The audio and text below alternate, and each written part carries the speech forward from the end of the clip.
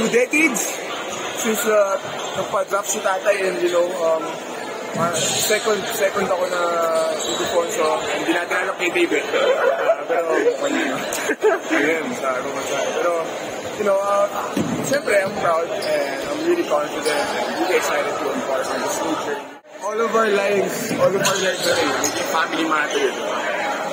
Pero wala, wala na siyang control dun eh. Wala na siyang control dun. And sabi ko naman sa kanya, sabi niya rin sa akin, na whatever mga team mag-draft sa'yo, importante masaya ka, importante pakita mo kung ano kaya mo, kaya mo bigay.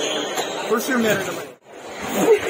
Ah, siguro kasi bro, buong enyo ko kasama ko siya, di ba? Tapos hanggang sa bahay pa, kasama ko siya.